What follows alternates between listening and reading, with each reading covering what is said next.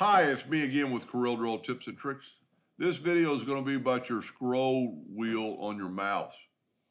If you don't have anything selected or touched and you scroll in and out, you're zooming. That's a setting, that's a default setting, and you can actually change that. But if you hold down the Alt key while doing that, it scrolls directly vertical up and down. If you hold down the shift key, it will scroll left and right or horizontally. What is really good about this, if you're really looking at some detail and you want to scroll just a little bit, it's like the pan tool. And then if you want to go up, hold down the Alt key and scroll up. Anyway, I hope that helped a little bit. Thank you for watching.